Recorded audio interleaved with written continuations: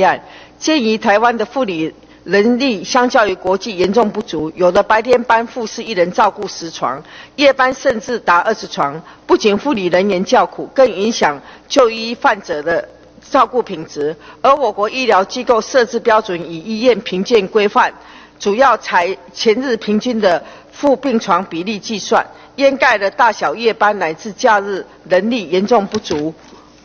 的问题。建请行政院卫生署明定合理的三班复病比、合理轮休时间，并公布各医院在医院评鉴中所呈现的护理能力，以维护病患权益是否有当，请公结案。本院委员罗淑蕾等